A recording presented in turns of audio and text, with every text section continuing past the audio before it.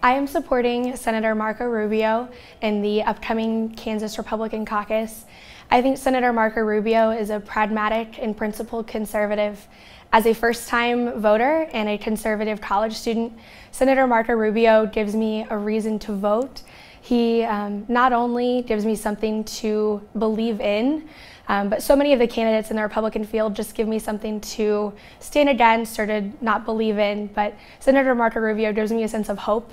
Um, our party is broken, our nation is divided as ever, and for the first time in my life, I'm finding a candidate that I can believe in and that can truly um, draw more people into our party, can unite us not only as Republicans but as Americans, and that's why I'm proud to support Marco Rubio on March 5th. Um, Senator Marco Rubio has talked numerous times about his student loan debts.